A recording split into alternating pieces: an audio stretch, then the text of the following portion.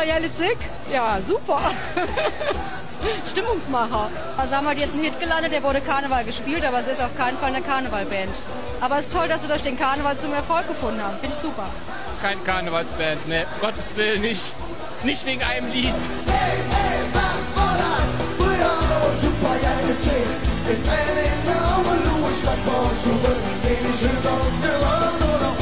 Super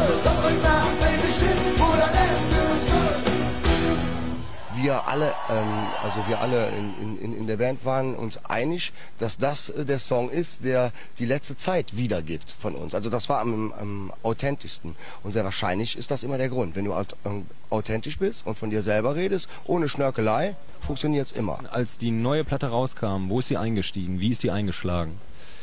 Ja, wir sind direkt äh, von 0 auf 40 in die deutschen Albumcharts ein, äh, eingestiegen. Und das war natürlich auch durch den, wir sind gefeuert worden von der EMI zu einer neuen Plattenfirma. Das war ein bisschen so. Da haben wir uns alle gefreut, ja. Nicht nur Super Jalezik ist gut, sondern halt auch noch die alten Lieder. Die sollte man nicht vergessen. Auch die nächsten zehn Jahre.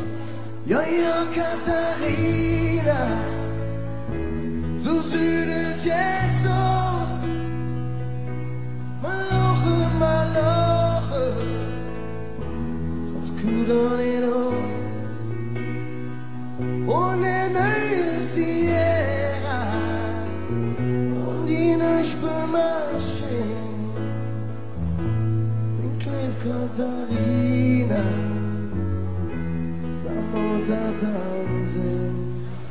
Ja, Katharina.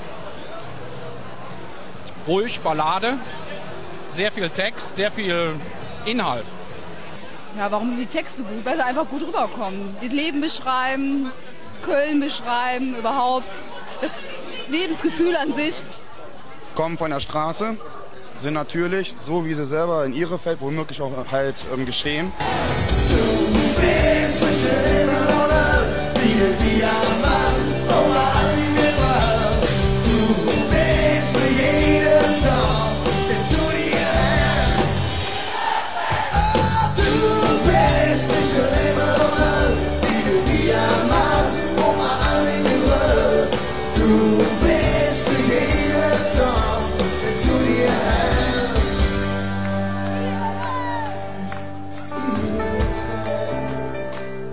Bab hat vorgemacht, dass mit einem eher verständlichen Kölsch ein größerer Erfolg deutschlandweit möglich ist. Warum habt ihr da gesagt, nee, wir singen unser Kölsch, das echte Kölsch? Wir haben auch Songs, ein Song wie Bis ans Meer, was ein großer Erfolg war von der 5, ist eine deutsche Nummer. Und wenn du mit den Leuten redest, dann sagst du zu denen, ey, Bis ans Meer, was ist das? Sagen die Kölsch, weil die Nummer ein Hit ist. Dann denken sie, der Kölsch ist Hochdeutsch.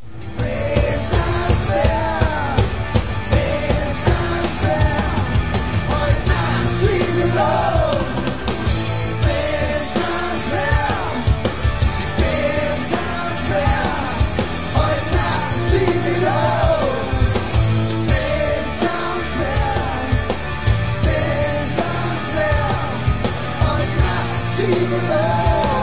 Man muss ja nicht unbedingt jetzt in, in Hochdeutsch singen, um bekannt zu werden.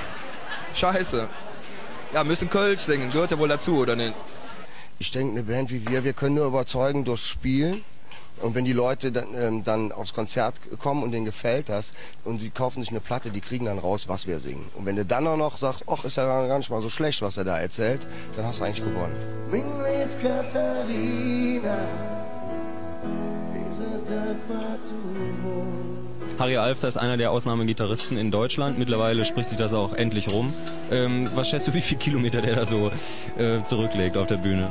Ja, einige. Der Harry ist gut am Start, der läuft viel rum und ich finde das auch gut, weil das ist gut für unsere Bühnenshow, da passiert was und Harry spielt ja trotzdem dabei weiter. Das ist mir auch ein Rätsel, wie er das macht, aber er macht das.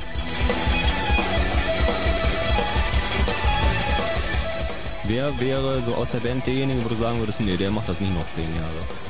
Keine Ahnung, ich bin sicher, weil sie können nichts anderes, sie müssen weitermachen. Was sollen die machen? Wir sind Musiker vom Beruf und wir werden, ich bin auch sicher, dass diese Band zusammen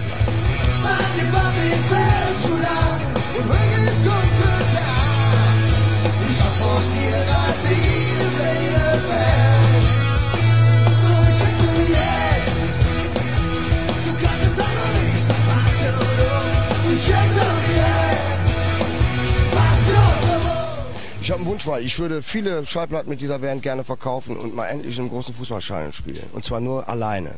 Das wäre ein großer Wunsch von mir, dass wir dieses Land erobern. Und zwar von der Waterkant bis zu den Bergen. Das ist mein Wunsch. Und in der Schuld,